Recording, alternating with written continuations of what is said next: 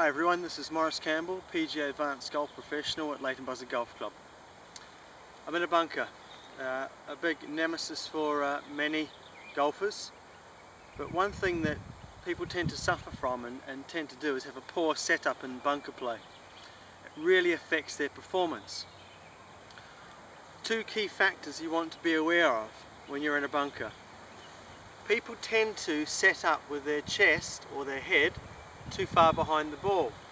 Make sure your chest and sternum are more in line with the ball. That means you've got a more of a chance of making a divot where the ball is.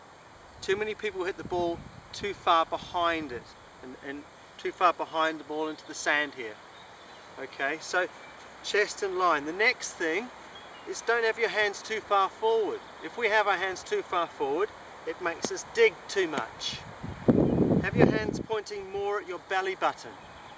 Okay, if we have it more at our belly button, the club is more likely to be on a shallower angle when it strikes the ball.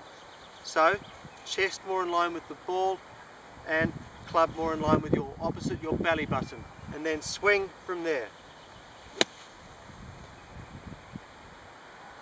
If you do that, you'll have a greater chance of being shallower, also hitting the sand in the correct spot. If you do those two things, you're going to have much more success in the bunker. Thanks very much. Maurice Campbell, PGA Advanced Golf Professional, Leighton Buzzard Golf Club. Thank you.